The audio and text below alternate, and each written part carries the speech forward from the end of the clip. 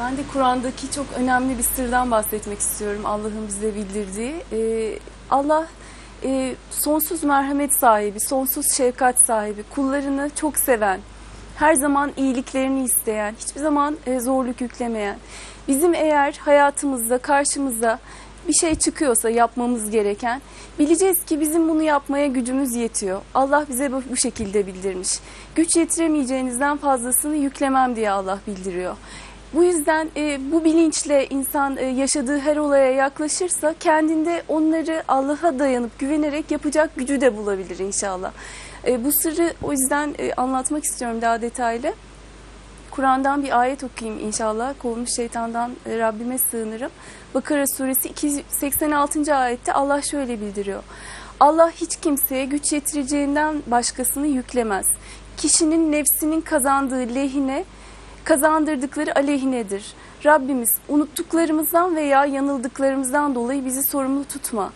Rabbimiz bize bizden öncekilere yüklediğin gibi ağır yük yükleme. Rabbimiz kendisine güç yetiremeyeceğimiz şeyi bize taşıtma. Bizi affet, bizi bağışla, bizi esirge. Sen bizim Mevlamızsın. Kafirler topluluğuna karşı bize yardım et. Allah'a bu şekilde Müslümanlar dua ediyorlar. Allah da vaat ediyor. Hiçbir şekilde yapamayacağınız, bilemeyeceğiniz, anlayamayacağınız, güç yetiremeyeceğiniz bir şeyi sizden istemiyorum ve istemem diyor Allah. Bu bizim için inşallah çok önemli bir rehber, çok önemli bir sır. Bunun bir örneğini başka bir ayette Allah şu şekilde açıklıyor. E, fiziksel açıdan e, güçleri yetmeyen, eksiklikleri olan Allah'ın bir hikmet üzerine, bir imtihan olarak o şekilde yarattığı insanlardan Allah sorumluluğu kaldırdığını bildiriyor e, kovmuş şeytandan Allah'a sığınırım. Kör olana güçlük sorumluluk yoktur. Topal olana güçlük yoktur. Hasta olana da güçlük yoktur. Kim Allah'a ve Resulüne itaat ederse Allah onu altından ırmaklar akan cennetlere sokar.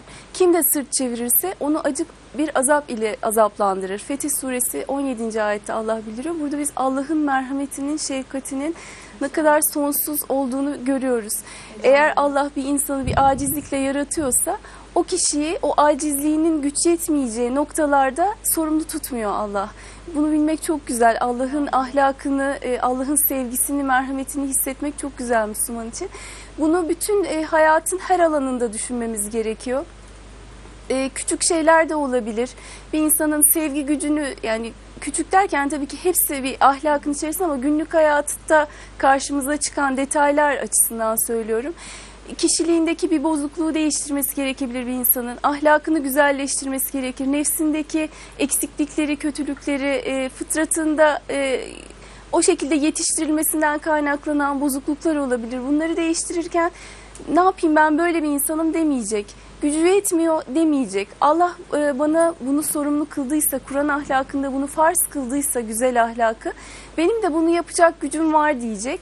Ve e, Allah'a dayanıp güvenip azmedecek, irade gösterecek, emek verecek, çaba harcayacak. O konuyu halledene kadar sonunu bırakmayacak. E, bir konuda ben yeteneksizim demeyecek. E, mutlaka e, üstüne gidecek. Ama Allah bir imtihan olarak o kişiye e, onu nasip etmeyebilir. O zaman içi rahat olacak. Bilecek ki demek ki ben bundan sorumlu değilim. Bunu yapamayacak durumdaysam, yapamıyorsam ama bu kadar samimi çaba harcıyorsam o zaman Allah bir imtihan olarak yaratmıştır diyecek. Ona da teslim olacak inşallah. Ama bu sırrı hiçbir zaman unutmayacağız. Allah bize bir şey gösteriyorsa biz onu yapabiliriz inşallah. İnşallah.